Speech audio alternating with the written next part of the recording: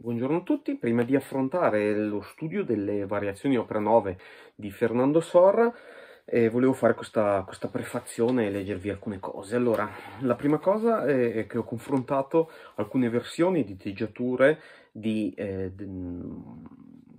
che, ho, che, avevo a disposizione, insomma, e, e che sono riuscito a trovare anche sulla rete. Allora, qualcuno Beh, la, la, revisione forse la più recente è questa del 2010, che è la revisione di eh, Giovanni Podera e Giulio Tampalini.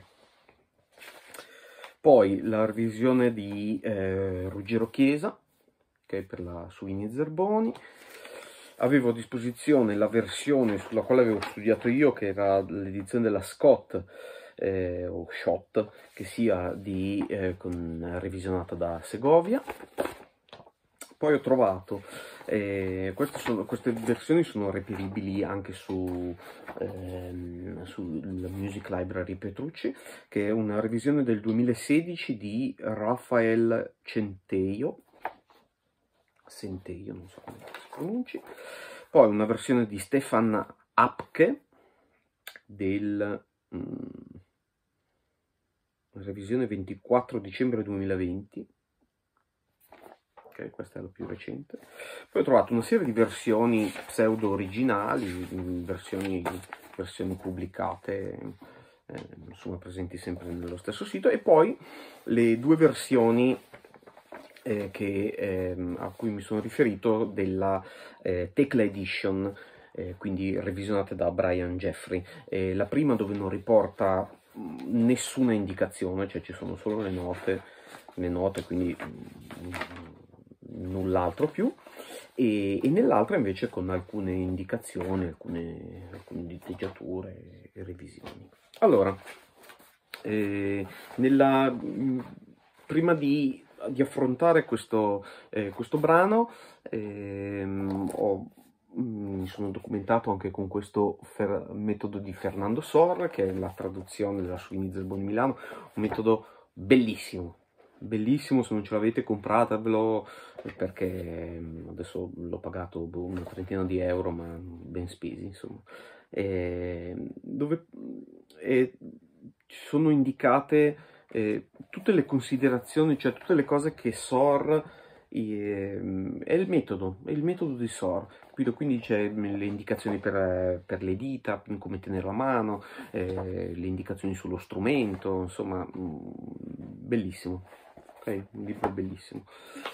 E, ehm, allora, vorrei leggervi l'introduzione eh, che è presente anche nella, eh, nel, nelle edizioni della Tecla Edition. Ok, eh, sono in inglese, io ne ho fatto una, una traduzione, eh, così insomma per capirla meglio. Allora, una delle opere più famose di Sor, questa serie di variazioni sembra essere stata ispirata dalla prima edizione londinese del Flauto Magico di Mozart, nel maggio 1819.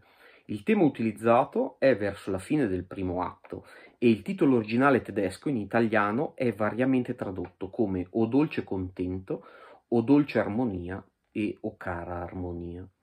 È quest'ultimo che compare nel frontespizio dell'edizione inglese dell'opera ed è anche quello utilizzato ad esempio nella partitura vocale Il flauto magico, pubblicata da Birk, Birk, Birkhall intorno al 1813. Nel 1821 esce la prima copia. L'editore era la Royal Harmonic Institution e non c'era numero d'opera, che apparve solo nelle edizioni successive di Meissonier. L'opera è poi apparsa a Parigi, edita da Meissonier, ma con modifiche. La prima edizione, ovvero quella londinese del 1821, che costituisce la base dell'edizione della, della Tecla Edition, ha un'introduzione, un tema, cinque variazioni e una coda. E la quarta battuta del tema inizia con il caratteristico Fa doppio diesis ma più o meno nello stesso periodo, non, non più tardi del, nel 1822, quindi la prima edizione nel 1821, questa qua nel 1822, l'editore francese Meissonier ne fece uscire un'edizione abbreviata, semplificata e meno interessante. Si può intuire che si trattasse di un tentativo di ridurre questo bel lavoro al livello di dilettanti per vendere più copie. La prima e più difficile variazione è stata omessa. Quindi la prima variazione è quella che fa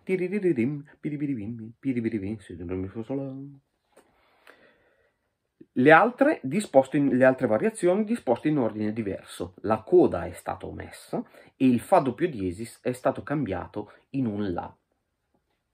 Il finale è così brusco e poco musicale che non si può fare a meno di pensare che questa versione non possa aver avuto l'approvazione di Sora. Il finale non è, è, cambiato, cioè oltre ad aver disposto in modo diverso le, le variazioni, è anche cambiato. Ok? Nello stesso periodo in cui Sor viene, eh, venne a Parigi, nel 1826 apparve un'altra edizione Meissonière, in francese nuova edizione ampliata dall'autore. Che si tratti di nuova edizione no, è vero solo nel senso che si tratta di una nuova edizione di Meissonière. L'implicazione che si tratti di un'edizione completamente nuova di Sor è falsa, poiché all'esame risulta identica nota per nota e nella stessa posizione sulla pagina, ossia impaginato uguale, dell'edizione londinese originale. Sor, insoddisfatto dell'edizione troncata che Missonier aveva precedentemente pubblicato, insistette con lui perché la versione completa e corretta fosse pubblicata quando tornò a Parigi dalla Russia. Oh. Lo stesso Sor ha eseguito l'opera in pubblico. Per l'edizione londinese dice come eseguita dall'autore ai concerti per i nobili e la seconda edizione del Meissonier eseguita, eseguita dall'autore al concerto della Royal School of Music.